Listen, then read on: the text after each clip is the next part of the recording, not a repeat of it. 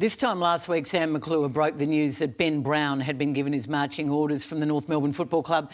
Today, mm. we learn that another shock departure from the North Melbourne Football Club, this time in the coaching ranks. Jade Rawlings learned early today, was blindsided, I gather, when he was told he would no longer be the senior assistant coach at the Cup Club next year.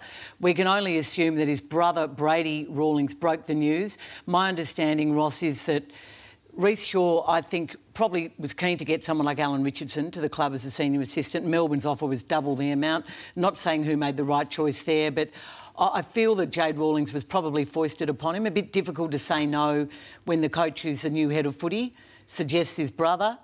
And you've got a bloke now who's had a, a really tough year in Rhyce Shaw. He is going to do it his way. He's got one more year in his contract. I like it. We're talking about leadership and yep. strong. Make the decision. You need chemistry in that role and, and you need to come together under pressure well. Clearly, he's made the decision the chemistry's not there, I would think.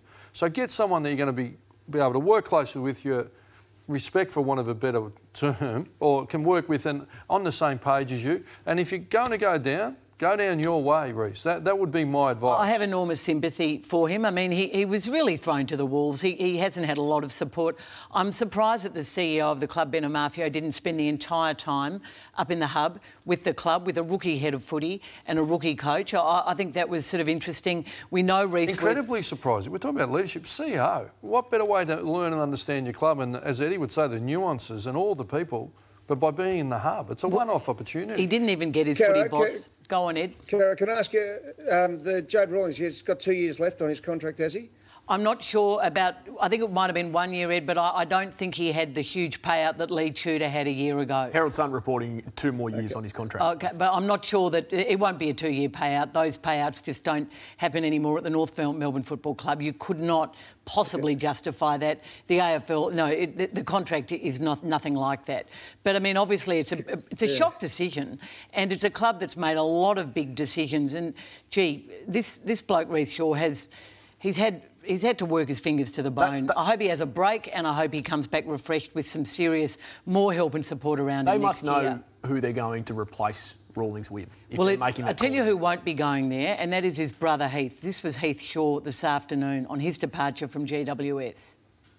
I've spoken to my brother, and I like I can categorically say that I, I won't be playing at the Kangas next year, and I know I've sort of said I wasn't retiring, but it doesn't mean I, like I'm, I actually want to keep playing. If an opportunity came by to play again, I'd have to probably sit down and, and have a think about it. But right now and right here and right now, I'm, I'm pretty comfortable where I'm at.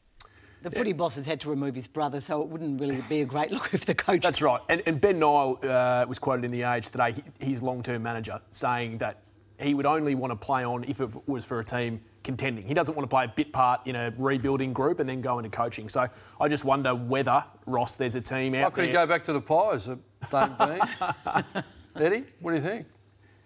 He'd play for I'd love to have him back. Wouldn't that yeah. be fantastic? If he, if he plays for nothing, I'll, can, I think I'm going to ring him right now. Let's get him on the line.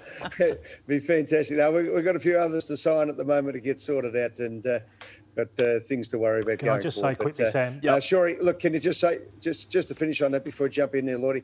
What a great career for Heath Shaw. Yeah. The first time I saw him run around the boundary line of Victoria Park, I thought he had uh, hip problems. He was rocking back and forth the way he was running. I thought, God, this bloke, he can't even run.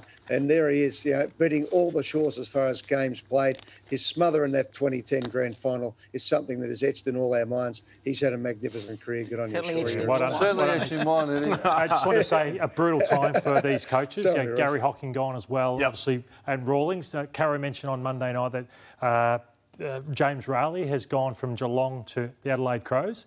It's something Geelong, I think, did extremely well. Told him three months ago that you won't be with us next year. Gave him three months to try and get yep. a job.